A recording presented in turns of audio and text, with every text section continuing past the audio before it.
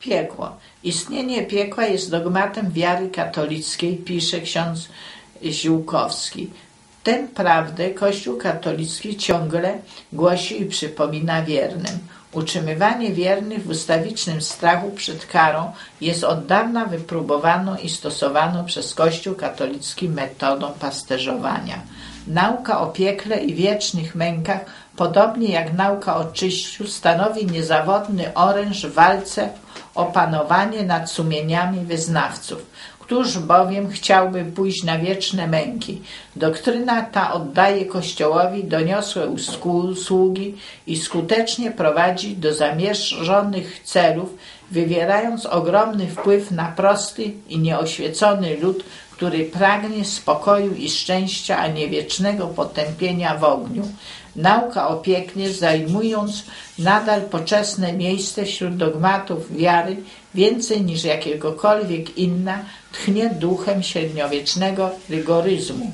Dostarcza niewyczerpanych tematów wiecznego y, dla fantazji i polotu, co gorliwszych kaznodziejów i nauczycieli religii.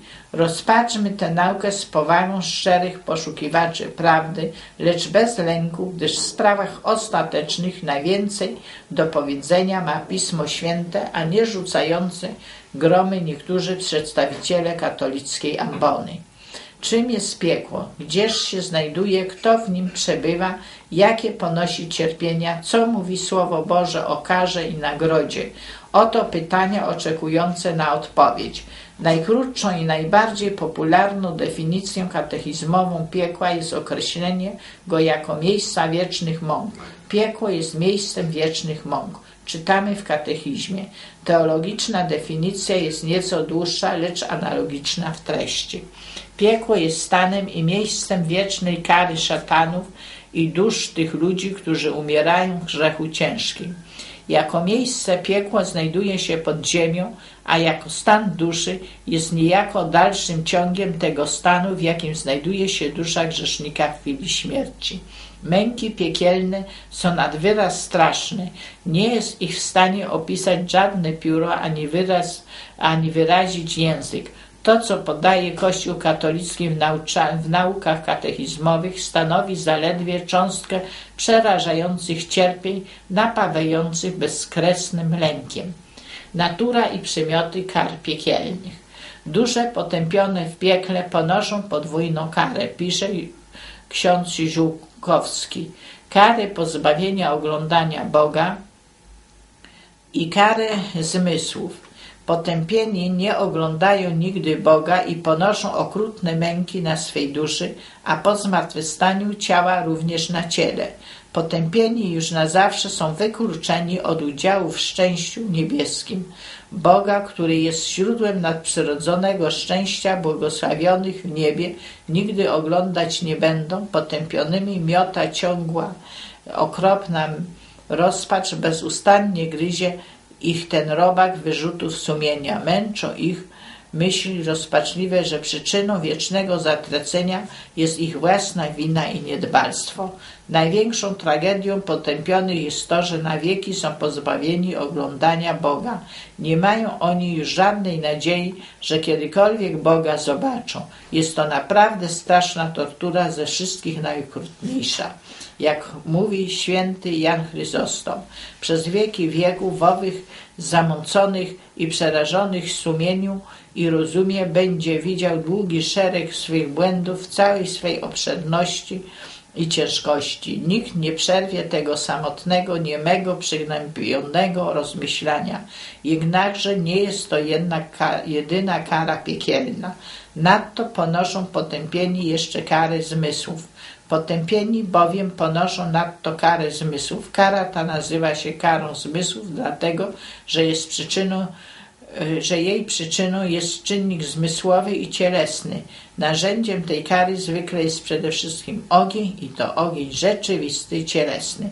Trudno jest pojąć, jak można, jak może cielesny, rzeczywisty ogień być narzędziem cierpień dla niematerialnych dusz, lecz teolodzy wychodzą zwycięstwa z tej otrudności, służąc wyjaśnieniem, że pozbawionym sensacji a zarazem absurdu, chociaż będą, będzie to rzeczywisty ogień palący, wyjaśnia ksiądz Franciszek Spirago, różnić się jednak, i, i, różnić się jednak prawdopodobnie będzie od ognia ziemskiego. Ogień piekielny nie niszczy i nie spopiela palonych przedmiotów, Owszem, konserwuje je jak sól potrawy, nie święci, gdyż w piekle panują ciemności i nie grzeje, gdyż panuje w piekle niezmierne zimno, natomiast piecze ogień piekielny, stąd wyraz piekło i to znacznie boleśniej niż ogień ziemski. Nasz ogień,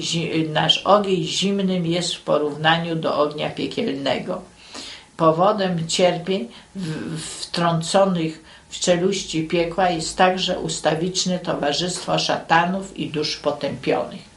Wielką karą dla potępieńców jest również towarzystwo szatanów i dusz potępionych. W piekle nie ma miłości, w tym miejscu wiecznego zatracenia panuje tylko nienawiść. Wszyscy cierpią potworne męki, złorzeczą i rozpaczają. Straszne więc i nieznośne musi być to ciągłe obcowanie z potępieńcami. Z pewnością sprawiedliwość Boża stosuje względem potępionych jeszcze inne kary dodatkowe, których jednak nie znamy. Okolicznością niespółmiernie powiększającą męki piekielne jest wreszcie ich wieczność. Kościół uczy, że cierpieniom piekielnym nigdy nie będzie końca i granic. Potępieni nie mają żadnej nadziei, że ich kary skończą się kiedykolwiek.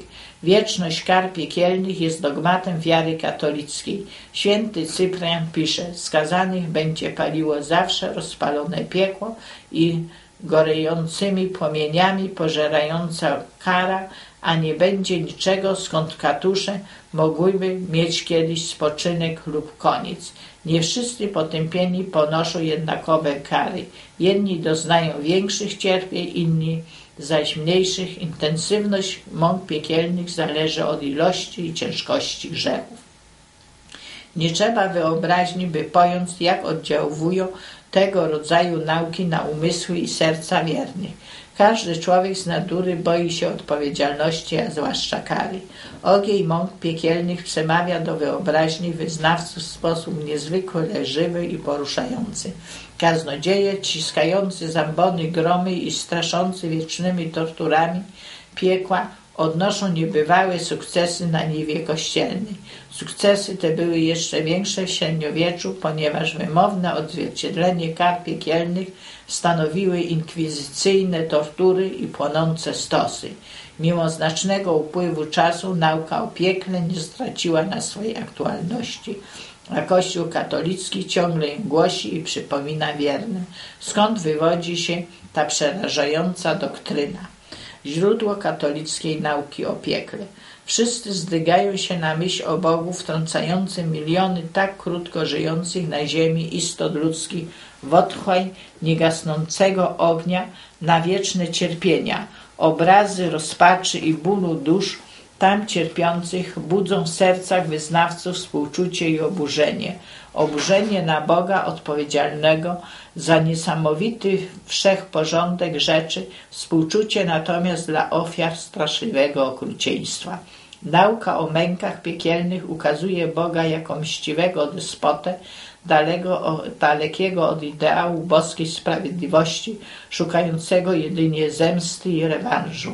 Poglądy te odwodzą od fideizmu i pchają w objęcia niewiary, brutalnie odzierają niebieskiego Ojca z najświętszych przymiotów dobra i piękna oraz pozbawiają ludzkość nadziei miłosierdzia. Z jakich źródeł płynie ta okrutna nauka? Czy jest nim Pismo Święte? Czy potwierdza ono w jakimkolwiek stopniu katolicki dogmat? Na próżno szukalibyśmy w nim oparcia.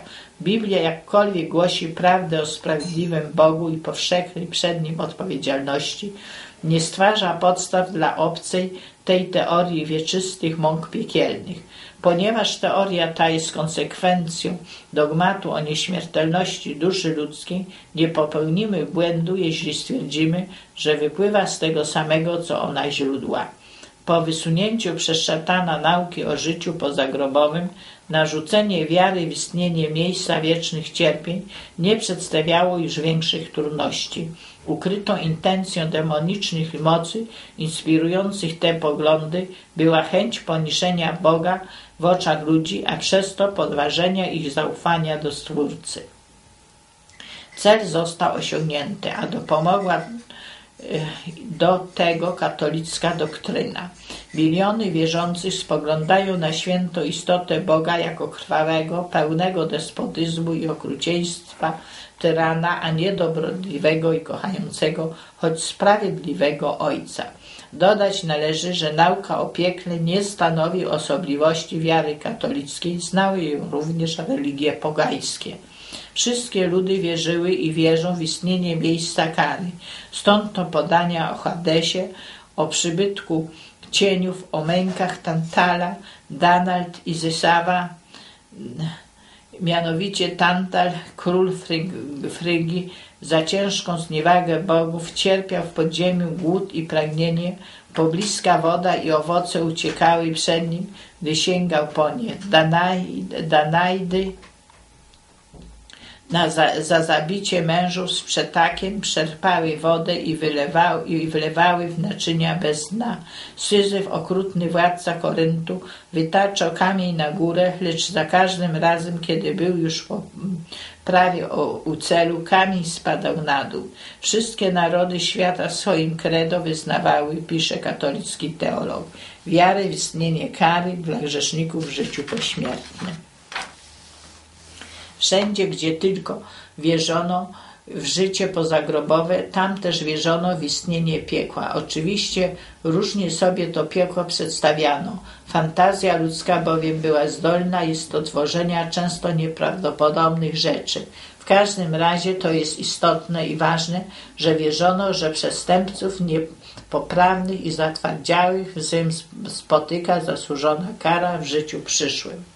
Rozważanie powyższe wskazuje, iż katolickie piekło można by nazwać ostatnim wcieleniem pogańskiej nauki pośmiertnych mąk, a jej genealogia sięga pierwszej nauki o nieśmiertelności duszy wygłoszonej w raju. Pozabiblijne pochodzenie nauki o piekle potwierdza znana egzegeta katolicki ksiądz Czesław Jakubiec, który oświadcza, że pojęcie to w Piśmie Świętym nie występuje. Trzeba dodać, że w Biblii pojęcie piekło jako miejsce kary wiecznej nie istnieje. Wprawdzie ów wyraz występuje w polskim przekładzie podobnie jak i w łacińskim infernus albo inferi, jednakże jest to odpowiednik hebrajskiego wyrazu Sheol, ten zaś wyraz ma niewiele wspólnego z naszym pojęciem piekła. Biblia ukazuje innego Boga niż ten, który znajduje zadowolenie w mękach wiecznie palących i cierpiących potypieńców. Teolodzy katolicy uważają, że wieczne męki czynią zadość względnej sprawiedliwości Stwórcy. Jednakże kara w ten sposób wymierzona daleko jest, daleka jest od czystej sprawiedliwości Bożej, będąc raczej najbardziej zwyrodniałą postacią odwetu. Stosunek Boga wobec łamiących Jego prawa objawiony został przez proroka Ezechiela. Nie chcę śmierci bezbożnego, mówi Bóg, ale żeby się nawrócił bezbożny od drogi swej, a żył. Nawróćcie się, nawróćcie się do dróg, od dróg waszych bardzo złych. I czemu macie umierać domu Izraela? Bóg zainteresowany jest dobrem, szczęściem rodziny ludzkiej, a nie jej klęską. Bo ja najlepiej wiem myśli, które myślę o was, mówię Pan, myśli o pokoju, a nie o utrapieniu, abym uczynił koniec pożądany biedom waszym. U podstaw boskiego planu zbawienia leży miłość, a nie okrucieństwo i tyrania. Bo Bóg tak umiłował świat, że Syna swego jednorodzonego wydał, aby każdy, kto w jej wierzy, nie zginął, ale miał żywot wieczny. Pismo Święte przedstawia Boga jako pełnego, miłosiernego i łaski, u którego pojęcie kary jest ostatecznością uzasadnioną porządkiem moralnym wszechświata. Nauka o wiecznych mękach sprzeczna jest również z ideą wiecznego szczęścia zbawionych. Należy wątpić, czy zbawieni zażywający chwały niebios mogliby radować się wiedząc, że ich bliscy, bliźni jęczą w krainie wiecznych mąk. Pojęcie piekła jest wreszcie teologiczną mieszaniną kilku biblijnych terminów, przepraszam, posiadających odrębne znaczenie. Terminami tymi są hebrajskie Sheol oraz greckie Hades, Gehenna i Tartaros. Połączenie reprezentowanych przez nie pojęć i oddanie ich wspólnym wyrazem piekło stworzyło katolickie pojęcie miejsce i stanu wiecznych kar szatanów, szatanów i potępieńców. Przeprowadzenie analizy wspomnianych pojęć biblijnych pozwoli na wykrycie tajemnicy katolickiego piekła. Szeol. Pierwszym terminem oddanym w przekładach polskich słowem piekło jest hebrajski wyraz Szeol, występujący 65 razy w Starym Testamencie. Teologia katolicka używa wyrazu Szeol na określenie miejsca wiecznych mąk. Ksiądz Ziółkowski oświadcza w tej sprawie. W języku hebrajskim piekło nazywa się Szeol. Na innym miejscu pisze, w księgach świętych Starego Testamentu niejednokrotnie spotykamy wyraz piekło i to użyte na oznaczenie miejsca wiecznej kary w życiu pozagrobowym. Tymczasem wbrew opinii księdza Ziółkowskiego, lecz zgodnie z hebrajskim słownictwem, wyraz Szeol nie oznacza miejsca wiecznych mąk lub miejsca wiecznej kary w życiu pozagrobowym, ale po prostu miejsce przebywania zmarłych, zarówno sprawiedliwych, jak bezbożnych, czyli innymi słowy stan śmierci lub grób. Znakomity lingwista dr Wilhelm Schmidt twórca cenionego powszechnie wśród biblistów słownika biblijnego, następująco określa termin Szeol. Wyraz ten piekło używany jest powszechnie przez naszych tłumaczy dla oddania znaczenia hebrajskiego wyrazu Szeol. Może byłoby lepiej oddawać znaczenie hebrajskiego Szeol za pomocą takich słów jak grób lub otchłań.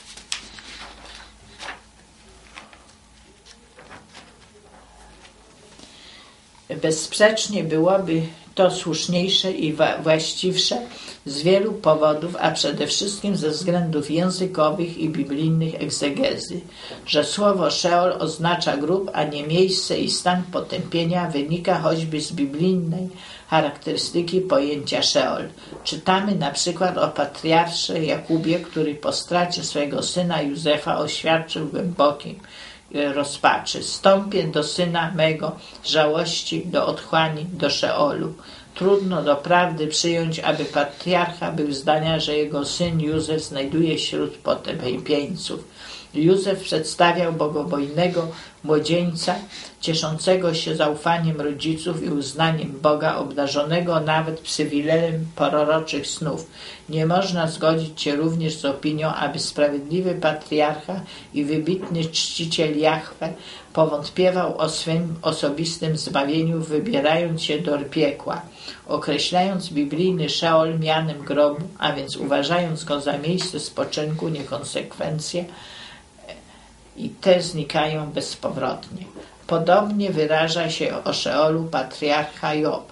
Jeśli czekać będę, otchłań Szeol jest domem moim.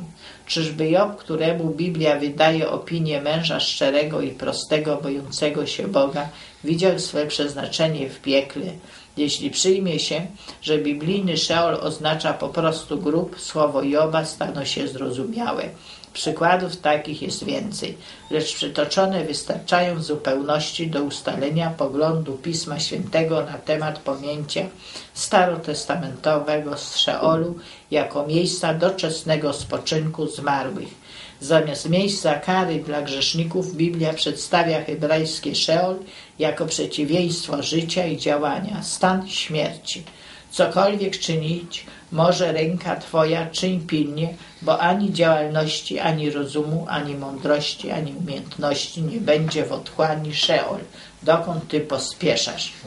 Uczeni katolicy kreślą przerażające obrazy piekła, stanowiące bezdenną czeluść płonącego ognia, w której szatan wraz z swą diabelską sforą pilnuje uwięzionych i męczonych grzeszników. Biblijny opis Szeolu nie ma zaiste niczego wspólnego z tak pojętym piekłem. W księdze Joba czytamy Tam w Szeolu niezbożnicy przestali się miotać i tam odpoczęli, wyczerpani sił. I niegdyś związani są razem, bez przykrości, nie słysząc głosu naganiacza. Mały i wielki tam jest i niewolnik wolny od Pana swego. Gdyby Sherol oznaczało miejsce wiecznych mąk i gorejącego ognia, nie byłoby miejscem odpoczynku. Jednakże tam odpoczywają wyczerpani sił. Zwróćmy uwagę na słowo niewolnik wolny od Pana swego. Jeśli by szatan sprawował władzę nad zmarłymi potępieńcami, z pewnością żaden z nich nie byłby wolny od Pana swego. Szatan jest wszak autorytetem niewolnictwa i ucisku. Job, narzekający na swą nieszczęsną dolą, przedstawia stan śmierci jako miejsce spokoju i milczenia. Czemu w żywocie nie umarł? Wyszedłszy z żywota wnet nie zginął. Czemu przyjęty na kolana? Dlaczego karmiony piersiami? Teraz bowiem śpiąc milczałbym i odpoczywałbym snem moim z królami i radnymi ziemi, albo nie istniałbym jak martwy płód ukryty, albo jak ci, którzy poczęci nie oglądają światłości. Byłby to sen śmierci, pozbawiony bólu, trwogi i cierpień. W Szeolu nie tylko nie przebywają szatani, nie występuje w nim żadna forma życia i świadomości bo żyjący wiedzą, że umrą, lecz umarli nic więcej nie wiedzą. Miłość też i nienawiść i zazdrość zarówno zginęły i nie mają cząstki na tym świecie ani we wszystkich, a co się dzieje pod słońcem. Biblijny pogląd na stan śmierci oraz miejsce pobytu zmarłych potwierdzają czołowi bibliści egzegeci katolicy. Według ówczesnych poglądów pod powierzchnią ziemi znajdowała się kraina zmarłych, zwana po hebrajsku Sheol, greckie Hades, dokąd po śmierci szli wszyscy bez wyjątku, dobrzy i źli, bogaci i biedni. Z tej krainy śmierci nie było już powrotu. Zmarli Metim albo cienie Rephaim przebywali tam w mroku śmierci, nic nie mąciło ich spokoju i ciszy. Takiego ich stanu nie nazywano życiem, gdyż kraina zmarłych była przeciwieństwem kraju żyjących. Porównaj Izajasz, rozdział 38, werset 11, czyli ziemi, na której żyli ludzie. Innym przeciwstawieniem życia na ziemi pobytowi w Szeolu było charakterystyczne wyrażenie oglądać światło, i być lub istnieć pod słońcem. Wskazywały one, że tylko ludzie żywi mogą oglądać światło dzienne, słoneczne, podczas gdy zmarli przebywają w mroku. W niektórych tekstach synonimem wyrazu Sheol jest grup hebrajskie Bor. W ten sposób charakteryzuje także pojęcie biblijnego Szeolu. Podręczna encyklopedia biblijna, podkreślając, że Izraelici nie wyobrażali sobie pobytu w Szeolu jako przedłużenia życia ziemskiego, czyli nie znali nauki o życiu pozagrobowym i nie traktowali Szeolu jako piekła. Miejscem przebywania zmarłych jest Szelol. 65 razy występuje, zwany niekiedy pięć razy tak Abaddon. Szeol jest jak pijawka nienasycona, przypowieść rozdział 20, werset 15. W Szeolu panuje gęsta ciemność jego mieszkańcy nie oglądają nigdy światła. Oprócz ciemności jest proch, charakterystyczne zjawisko Szeolu. Cechą bytowania umarłych w Szeolu jest ustanie jakiejkolwiek działalności, wszelkiego używania. Umarli nie wiedzą, co się na ziemi rozgrywa. Szeol jest krajem, w którym się nie pamięta i jest się zapomnianym. Najlepsze, co jest w Szeolu, to wypoczynek. Dlatego tylko trzeba by niekiedy śmierć stawiać wyżej niż nad życie. Jest więc rzeczą pewną, że Izraelici nie wyobrażali sobie pobytu w Szeolu jako przedłużenia życia ziemskiego, wbrew opinii niektórych krytyków. Biblijny Szeol to miejsce milczenia, w którym zmarli śpią w prochu ziemi. Prorocy rozumieli wyraz Szeol jako miejsce milczenia, niepamięci, skażenia, zniszczenia grup, stan śmierci. Szeol nie reprezentuje piekła w katolickim pojęciu. Jest miejscem milczenia i doczesnego odpoczynku zmarłych, zarówno dobrych, jak złych, bogatych i biednych. Dlaczego Kościół nie głosi tej czystej i jasnej nauki Pisma Świętego? Hades Nowotestamentowym odpowiednikiem hebrajskiego wyrazu Szeol jest greckie słowo Hades, przetłumaczone w polskim przekładzie Biblii również terminem piekło, raz jako grób. Ponieważ wiadomo, co oznacza biblijny Szeol, łatwo jest ustalić znaczenie pojęcia Hades. Pojęcia te są bowiem identyczne i w obu wypadkach oznaczają miejsce milczenia i doczesnego spoczynku zmarłych, czyli grób. Termin Hades znaczy dosłownie niewidzialny, a przez to wskazuje dodatkowo na miejsce, gdzie złożeni są ci, których nie dosięga nasz wzrok, to jest na miejsce grobu. Potwierdzeniem są teksty paralelne Starego i Nowego Testamentu. Zbieżność obu terminów występuje szczególnie jaskrawo w paraleli Psalm 15, werset 8 do 10, Dzieje apostolskie, rozdział 2, werset 25-27, gdzie mowa o Chrystusie. W wspomnianym psalmie znajduje się mesjańskie proroctwo Dawida. Pan mam zawsze, Pana mam zawsze przed swymi oczami. On po mej prawicy, więc się nie zachwieje. Przeto weseli się moje serce i dusza moja się raduje nadto i ciało moje spoczywać będzie bezpiecznie, bo nie zostawisz duszy mej w otchłani w Szeolu, nie dozwolisz świętemu swemu doznać zniszczenia. Tekst ten występuje również w Księdze Dziejów Apostolskich jako cytat przytoczony przez apostoła Piotra, z tym, że słowo otchłań Szeol oddane zostało terminem Hades, grób. Apostoł Piotr, komentując ów tekst, zwrócił uwagę na jego mesjański sens. Dawid, będąc jednak prorokiem, wyjaśnia, Piotr i wiedząc, że Bóg mu uroczyście zaprzysiągł, że jednego z jego potomków osadzi na tronie jego, mówił proroczo o zmartwychwstaniu i Chrystusa, że nie będzie pozostawiony w otchłani w Hadesie i że ciało jego nie zazna skażenia. Oba terminy Szeol i Hades zostały więc zidentyfikowane. Jeśli uznać, że słowo Hades oznacza katolickie pojęcie piekła, to suponuje Kościół Ziółkowski, który stwierdza, że język grecki y, zaś na oznaczenie piekła ma wyraz Hades. To trzeba by było się zgodzić z opinią, że Chrystus Pan przebywał po swej śmierci nie w grobie, lecz w miejscu wiecznych mąk. Zrozumiałe jest, że upatrywanie w biblijnym Hadesie piekła pozbawione jest sensu, podobnie zresztą jak twierdzenie, że Jezus stąpił na okres trzech dni do miejsca wiecznej kary szatanów i potępieńców. Słowo Boże nie stwarza podstaw do budowania teorii o piekle jako miejscu bezkresnych mąk, w którym przebywają potępieńcy wraz z szatanami. Hades i, Szepa, i Szeol wymienione przez Pismo Święte są synonimami grobu, gdzie zarówno sprawiedliwi jak grzeszni oczekują na dzień zmartwychwstania.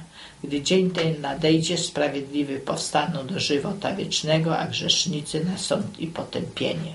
Nadchodzi godzina, w której wszyscy, co są w grobie, usłyszą głos Jego. Wtedy ci, którzy dobrze czynili, wyjdą na zmartwychwstanie żywota, a ci, co źle czynili, na zmartwychwstanie potępienia. Hades nie reprezentuje miejsca lub stanu wiecznej kary. Nie przebywają w nim szatani, nie żyją dusze ludzi zmarłych, ani też nie gorze wieczny ogień piekła. Jest krainą zmarłych i miejscem milczenia.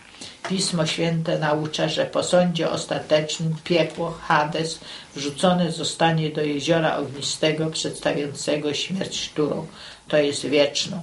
Jasne więc, że skoro Hades zostanie wrzucony w jezioro ogniste, nie może być równocześnie tym jeziorem, jakby należało oczekiwać w wypadku przyjęcia, że przedstawia ono katolickie pojęcie piekła, ponieważ śmierć Tura będzie zakończeniem istnienia grzechu grzeszników i następstw grzechów, zbędne będzie dalsze istnienie miejsca doczesnego odpoczynku zmarłych, czyli Hadesu. Zarówno śmierć, jak i piekło, Hades, to grób, przestaną istnieć na wieki.